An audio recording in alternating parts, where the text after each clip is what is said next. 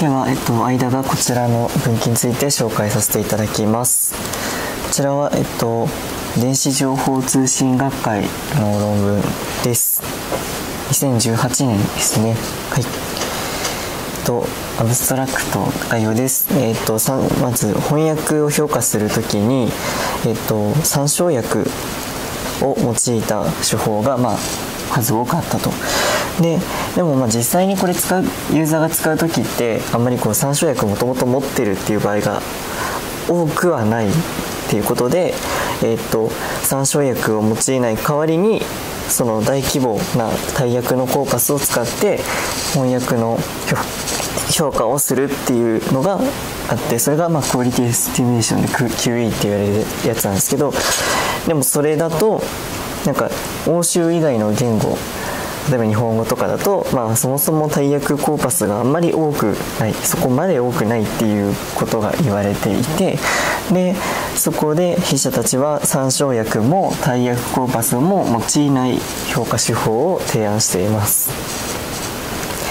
イントロダクションです、えっと、現状の機械翻訳は、まあ、必ずしも正しい訳を出力するとは限らない、えっと、例えばこう小説などといったこう結構抽象度が高い文章に対しては、まあ、正しく訳せないことが多いそうです。でそこで、えーとまあ、先ほども述べたように、まあ、参照薬やらタイヤコーパスやらを用いて出力を評価してあげるっていうのがあるんですですが参照薬っていうのはまあ薬分の量とか質に依存してでタイヤコーパスだとまあ大規模である前提なので、えーと、筆者たちはまあ単語の言語間類似度っていうものから、えーと翻訳の出力を評価するっていう手法を提案しています。提案手法の流れが4つあって、えっと、まず単語分散表現を学習してから、えっと、翻訳2番目ですね。翻訳行列によってマッピングっていうものを行いその後にこうこう大きくあるんですが異言語間分間類似度異言語分間類似度っていうものをまず計算していきます。その後に最終的にこう類似度っていうものをこう出力するっていう流れになってます。まあ、ここだともう、えーと、翻訳対象の文と、まあ、出力結果の類似度を出していくっていう流れになっています。まず順番に説明していきます。単語分散表現を学習する。1番目のところ、まあ、これはまあそのままワードツーベックを学習するんですが、ま、データとしては Wikipedia のデータを使っています。この URL からダウンロードした記事を使ってやっているとのことで、まあ、こう見るとまあ分単位とかでは出てなくて、まあ、単純に英語の方が多いってなってるんですが、まあ、記事ごとに言語ごとにこう記事の数が異なってるページの数が異なってるってことで、まあ、英語の方が多かったそうです。でこれを使ってワードツーウィークでこう学習をして単語分散表現を得ています。2番目の翻訳行列でマッピングっていうものでで、まあ、得られた分散表現を今度言語間で比較していきたい例えば今回だと日本語と英語でこう2つの分散表現がこう得られたわけなんですがそれをこう異言語間で比較をするっていうものになっています。でこうワードスペックとかだと異言語間においてこう単語間の関係っていうのはまあベクトルは違えど、まあ、似ているっていうことから、えっとまあ、こううまく変換できないかってことで線形変換であるこう翻訳行列っていうものを、えっと、作っていきます。まあ、これはまあ結構単純で、えー、例えばこう単語のペア xi と zi とかがあったらまあこれを、えーとまあ、最小2情報で禁じして行列を求めていくそうです。でここで翻訳の行列、まあ、言語が行き来できるようなこう行列が得られてで次に、えっと、異言語間の類似度を計算していくところに入っていきます。でまずこうアライメントっていうものをするんですが、えっとまあ、文間の類似度っていうものをこう入力と出力で計算するときにこう不要な単語間の計算とかがまあノイズになってしまう、まあ、必要ないっていうことで、えっとまあなるべくそういうものを避けるためにあらかじめこう全ての単語間で、えっと、アライメントのスコア、えっと、ここですね。アライメントのスコアっていうものを計算していきます。でえっ、とまあ、それでアライメントスコアの大きさに応じてこう2の式値 t を定めておいて、えーとまあ、最終的に、えーと、ここ今回用いる、えーと、単語ベクトル間のこうコサイン類似度っていうものをこう dij っていうふうにして、えーと、設定していきます。でここに、えーとアライメントスコアの計算のところにダイスってあるんですけどこれ、えっと、ダイス係数っていうもので、えっと、今回、えっと、W ダイスなんでこれ重み付きの、えっと、ダイス係数を採用しています。でえっとダイス重み付きのダイス係数の下計算式がこの下のものでえっと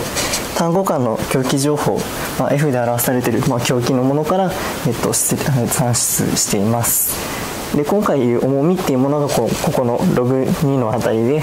本当だともうこれしかない。重みがないようなダイスケースはこの、えっと、右側のに近いものになっています。でえっと次ですね。えっとここでえっと最終的にこう類似度を計算していくにあたってえっとすごい大事な、えーと、手法ってなってるのが EMD あの Earth Mover's Distance っていうもので、えーと、これ類似画像検索に用いられている手法。で、えーとまあ、分布間の距離を、まあ、求めるものになっています。でまあこれ輸送問題っていうものをもとにこう定義していて、えっと、例えばこう分布 P と分布 Q、まあ、これ今回で言うとまあ日本語の分散表現と英語の分散表現みたいな感じになっていて、まあ、それぞれこう、まあ、各要素にこう重みっていうものと、まあ、特徴量っていうものを2つ持ったこうシグネチャっていうものの集合になっています。で例えばこう P の i 番目から Q の j 番目にこう輸送する場合えっとまあ、まず距離 DI っていう DIJ っていうものと、まあ、ここの FIJ っていうのがこう輸送する、まあ、荷物の量みたいなになってて、えっと、そこでまあえっと荷物量と距離をかけたらまあ仕事量みたいになるのでその仕事量を最小化していくっていう、えっと、問題になっています。で、まあ、4つの制約条件があってえっとまあ、そんなに難しくないですけど例えばこう一番上だと,、まあえーと、輸送する荷物量は絶対にこう正であるっていうものと、えーと、中2つは、えーとまあ、運ぶ荷物量はこっち側の荷物量こっち側の重みと輸送する側の重み、えー、とよりも、ま、小さくなければいけないっていうものとえーと、一番最後は、まあそうえーと、総合的な、えーと、荷物の量は、まあ、どちらかの合計大荷の合計の、まあ、小さい方を採用するというふうな流れで求めています。で最終的にこう、まあ、どれだけの重さのものを運べばいいかっていうあの FI の方 FIJ の方が、まあ、最適化する対象となっていて、まあ、DIJ がこう距離はもう絶対に変わらないので、えっと、FIJ の方をこう最適化していて、まあ、最適な FIJ っていうものをこう求めていきます。でこれは全部のこう単語まあ、単語っていうかシグネチャ間で求めていってで最終的にこう分布の P と分布の Q の間のこう距離っていうものを、えーと、EMD っていうこの以下の式でこう算出することができています。でこうしてこう得られた分布間のものを使って求めていくんですけど、まあ、例えば今回の条件におきましてはこの DIJ っていうものが、えっと、異言語間のこう単語の類似度先ほどのこうアライメントスコアっていうもので最終的に求めてたものが、えっと、異言語間の単語の類似度っていうものになっていて、えっと、得られた、えっと、EMD, EMD の式にこう DIJ っていうものをこう入れていくんですが、えっとまあ、分間の類似度っていうものをこう類似度っていうものがこう1から EMD を引いた値で類似度を求めることができる。となっています。まあ、EMD がこう距離みたいなものをこう表しているので、えーとまあ、1っていうものからこうで EMD が、えー、と0から1の値しか取らないので、えーとまあ、EMD の値が大きければ大きいほど、まあ、その分布の距離が離れているっていう風な認識ができるので、えっとまあ、1から引いた値が、まあ、実際にこう分布の近さ、まあ、類似度みたいなものになるというふうな手法になっています。実験です。えっと、今回少しこう変わってて、えっと、データが、えっと、ザ・オールド・キャピタルっていうもので、えっと、川端康成のこうことっていうものをこう英訳したものが、えっと、データセットになっていますで冒頭の100文を使っていましてでえっと英語から日本語に翻訳した訳文を評価するっていうタスクになっていますで、えっと、翻訳したものについてはこの以下の3つについて、えっと、やるので一文に対して、えっと、元の英語の文一文に対してこう3種類の日本語訳っていうものが、えっと、出てくることになっています。で、えっと出てきた訳文に対して、えっと、こちらあの訳文をこう8、えっと、人手で評価して、まあえっと、5段階で評価して、まあ、全員の平均を、まあ、約分の得点としてこう高い順にこう順位をつけていくような形になっています。順位をつけると、まあ、こんな感じになってて、まあ、1個の原文があってそれに対して、えっ、とまあ、この多分参照訳っていうのはこの元の、えっと原文からこう持ってきたやつなんですけど、えっとまあ、それぞれの翻訳のツールでこう翻訳した結果が123って出てきてでこれをこう人手で評価して5段階でつけて、えーと、平均点を約分の点としてその高い順に並べた結果が、えーとまあ、123という順番でこう大きくなっているだろうというふうな形になっているのでこう,、まあ、こういうふうな順位付けみたいなタスクになっています。で評価方法としては、まあ、先ほども述べたようにこう3つの役分に対して、まあ、順位が、えっと、3つの役に対してこう、まあ、それぞれ高い順にスコアの高い順に順位がついている、まあ、人手でつけた状態で、えっと、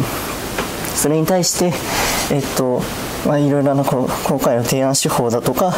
えっとまあ、自動評価尺度のこうメテオとかリブスっていうものを使って、えっとまあ、類似度を計算して、まあ、高い順に並べていくっていう風なタスクになっているので評価としては、えーと、人手との完全一致の数、まあ、正解数っていうものと,、えーと、あと、まあ、順位相関係数、まあ、約分の順位の対象関係の、まあ、相関を取るものこの2つで評価していきます。で、えっ、と、比較対象提案手法はもう3つに分かれてて先ほど紹介したあの重み付きダイス係数とアライメ,、えーと、アライメント、まあ、全部使う場合とあと重みなしっていうのがあのダイス係数にあの重みがついていない状態先ほどのあの右側の式だけのものとアライメントなしそもそもこうアライメントせずに単純にこうコサイン類似度だけこう突っ込むみたいな流れになっています。はいで結果なんですが、えーとまあ、一致数っていうのが完全に一致した数で、まあ、順位相関係数も高いほど良いんですが、えーとまあ、提案した手法は、まあ、一応メテオよりは、まあ、高くなっていて、えーとまあ、リブスに迫る結果だというふうになっています。で、えっ、と、提案手法の重みなし、えっ、と、重みのダイス係数じゃなくて普通のダイス係数を使ったものとそもそもアライメントをしないものだと、えっと、こちら大きく下がっているので、と、こうアライメント自体がこう大きく作用していたと言っています。ちょっと結果の考察をしていて、えっと、まあ、敷地がこう先ほどあのなんだアラメントスコアの先に、えーと、敷地を任意で決められると説明したんですが、えーと、その敷地を動かした時に、まあ、それぞれ、えーと、左側が、えー、と一致数右側が順位の相関係数でこの2つがどう変わっているかっていうふうなものを示したものになっています。で、えーと、すごい小さくて見づらいんですが、まあ、2つピークが来てて1回目が敷地0.73 2回目が敷地1.46のあたりでこう来ているんですが、えーとまあ、1.46の時は、えーとまあ、どっちも、えーと、順位相関係数は高くなっているんですが、えーと、1数になると,、えーと、敷地1.46あたりのちょうどこの辺だと、まあ、1数がすごい下がっているとなっていて、えっと、これは敷地が高くなればなるほど、えっとまあ、計算に必要な単語ペア自体もこう排除されてしまうからではないかと考えられています。で、えっと、次に、えっと、実際に先ほどの約分評価した約分の、えーと、実際の順位に対して、まあ、リブースと提案手法がどんな順位付けをしているかどんな類似度計算の結果が出ているかっていうものを並べたものになっていますでえっ、ー、と、まあ、リブスはもう人のつけた評価と全く一緒の順位付けになっているんですが提案手法だとまあそもそもこう全体的に低くて、えーとまあ、順位もうんと本当は1番101っていうこの一番上の分が一番類似度高くなきゃいけないんですけど高くあってほしいんですけど提案手法だとこうなんだろうえっ、ー、とあんまり高く評価してないし、え、ー、と一番下の順位になるはずの約3っていうものが一番上に来てるっていう風な結果になってて、えっ、とこれについては、えっとそもそも、えっと直訳、えっと単語のこう変換みたいな日本語と英語みたいな訳単語の大訳みたいな感じで評価をしているので、えーとまあ、直訳帳の、えー、と訳文これと3になって3訳3になってるんですが直訳帳の訳文を高く評価しがちであるからではないかと述べていました。コンクルージョンです。えっと参照訳も大訳コーパスも用いない評価手法を提案しています。えっと言語間の分散表現を、えっと、翻訳行列っていうもので変換していくっていうものと、えっとまあ、類似画像検索に用いられる EMD っていうものでこう訳文間の距離っていうものを算出してそこから類似度を求めるものになっています。でこれでまあ一応はメテオを上回ってリブスに迫る結果となっていてアライメントがすごい効いていたっていう話になっています。でこれからとしては品種情報を考慮してアライメントを改善していきたいと述べていました。最後に、参考文献としてこれ EMD についての解説が書いてありますのではいこんな感じです。以上で終わります。